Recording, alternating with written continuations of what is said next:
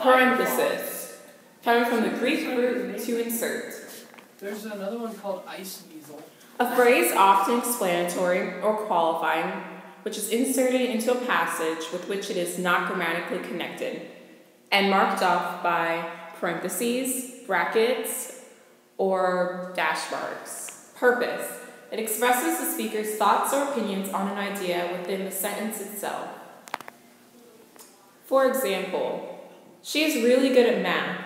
Obviously, she has an A. She must study a lot. This is an example of parentheses, actually using the parentheses to insert the speaker's thoughts. For example, from William Shakespeare's Midsummer Night's Dream. For you, fair Hermia, look you arm yourself to fit your fancies to your father's will, or else the law of Athens yields you up, which by no means we may extenuate, to death or to a vow of a single life. Inserted into a sentence through the use of dashes is an example of parentheses at the part which by no means we may extenuate, which reflects the speaker's opinions and feelings. Here's an example from JFK's inaugural address on January 20th, 1961.